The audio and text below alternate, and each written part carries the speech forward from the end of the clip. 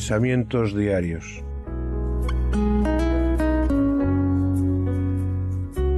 Sencillas pero profundas reflexiones para cada día de nuestras vidas. Meditaciones de la palabra de Dios nacidas de un corazón agradecido por su gracia y misericordia.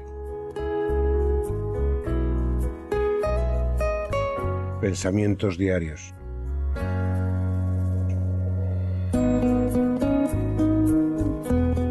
Devocional de lectura personal obsequiado por Radio Luz a las Naciones, canal cristiano de comunicación, con el único deseo de compartir con todos vosotros la esperanza en Cristo que hay en nuestros corazones.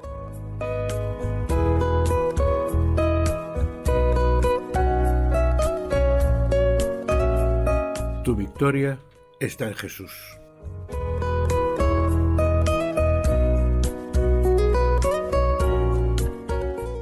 ¿Cuántos problemas se nos vienen encima? Problemas ante los que no tenemos más remedio que asumir su peso en nuestra vida y seguir adelante. Falta de trabajo en unos casos, en otros exceso. Problemas con nuestras familias, o tal vez sea nuestra precaria economía. Problemas en definitiva que pueden llegar a afectar a nuestra estabilidad emocional y hasta a nuestra salud. Pero sabemos de alguien que viva sin problemas. Tal vez el problema resida no tanto en el hecho de tener esos serios problemas como en el desgaste o la falta de paz que eso nos supone. Sea como sea, ninguno de nosotros estamos libres de problemas. ¿Cómo hacer entonces para poder enfrentar ese día a día que se empeña en no ponerse de acuerdo con cada uno de nosotros? La respuesta, como es habitual, la encontramos en Jesucristo. Estas cosas os he hablado para que en mí tengáis paz.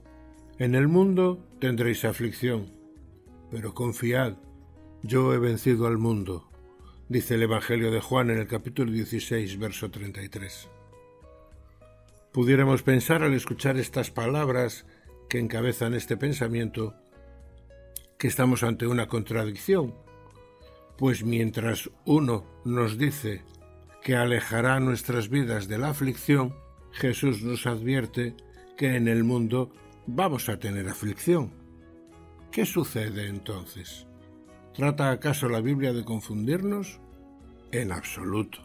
Pero como en cada cosa que enfrentamos, la palabra de Dios es un todo en sí misma y tenemos que conocerla en su totalidad. Sin embargo, ese conocimiento es un conocimiento espiritual, por lo que necesitamos una visión espiritual de lo que Dios nos está tratando de enseñar. Aquí es donde se hace imprescindible la ayuda del Espíritu Santo, aquel que puede traer un entendimiento claro de la palabra que él mismo inspiró a aquellos que la escribieron en la Biblia. Vayamos a la primera carta de Juan, el capítulo 5, versos 4 y 5 porque todo lo que es nacido de Dios vence al mundo. Y esta es la victoria que ha vencido al mundo, nuestra fe. ¿Quién es el que vence al mundo sino el que cree en el Hijo de Dios?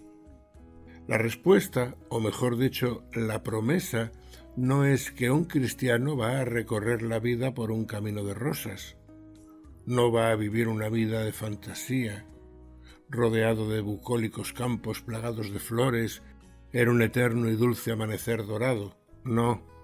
La promesa es que Él, Dios mismo, a través de la persona de Jesucristo morando en nuestros corazones y la del Espíritu Santo guiando nuestras vidas, va a acompañarnos en ese caminar.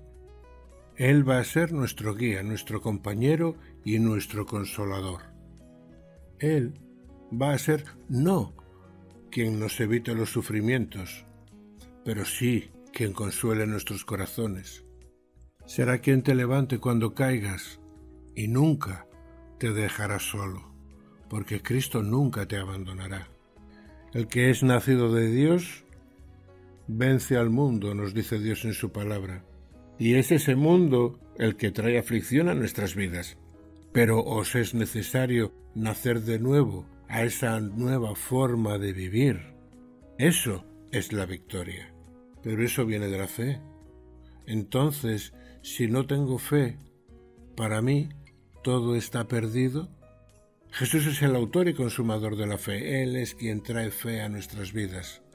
Y no una mera creencia superficial de que Dios existe o de que Jesús fue crucificado. No, se trata de esa fe que vence al mundo, la fe salvadora que viene de Cristo Jesús y que traerá a tu vida la victoria que tanto ansía tu corazón. Respondió Jesús y le dijo, de cierto, de cierto te digo, que el que no naciere de nuevo no puede ver el reino de Dios. Evangelio de Juan capítulo 3, verso 3. Que Dios os bendiga. Pensamientos diarios. Meditando en la palabra de Dios. Santificad a Dios el Señor en vuestros corazones, y estad siempre preparados para presentar defensa con mansedumbre y reverencia ante todo el que demande razón de la esperanza que hay en vosotros.